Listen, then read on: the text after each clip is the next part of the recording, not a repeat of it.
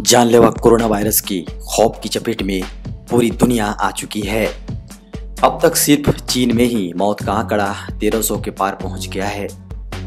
पूरी दुनिया में करीब 45 हज़ार लोग इस वायरस की चपेट में आ चुके हैं। इसी बीच कोरोना संक्रमित लोगों के फेफड़े की कुछ एक्सरे फ़ोटोज़ सामने आई हैं। दरअसल चीन के लंझाओ स्थित एक अस्पताल में कोरोना वायरस संक्रमित 33 वर्षीय एक मरीज़ के सीने का एक्सरे लिया गया। इसके बाद चौंकाने वाली तस्वीरें सामने आई। उन्होंने देखा कि सार्स की ही तरह कोरोना वायरस के भी लक्षण दिखाई दिए। जर्नल ऑफ़ रेडियोलॉजी के अनुसार, डॉक्टर द्वारा दिखाई गई एक्सरे रिपोर्ट में फेफड़े के निचले हिस्से में कुछ दाग नज़र आए। डॉक्टर ने इसे ग्राउंड ग्लास ऑपिसिटी ओपासिटी बताया है। रेडियोलॉजिस्ट ने बताया कि जब उन धब्बों को जूम करके देखा गया तो वे किसी शीशे के टुकड़ों की तरह नज़र आए। ये साबित करते हैं कि वहाँ कुछ तरल पदार्थ इकट्ठा हो गया है।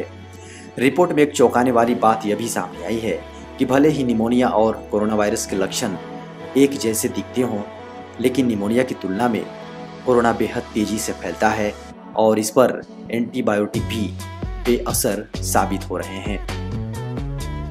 इसी बीच जर्मनी के रूह यूनिवर्सिटी और ग्रिप्स वर्ल्ड यूनिवर्सिटी ने वैज्ञानिकों यूनिवर्सिटी के वैज्ञानिकों ने मिलकर कोरोना वायरस पर एक स्टडी की है।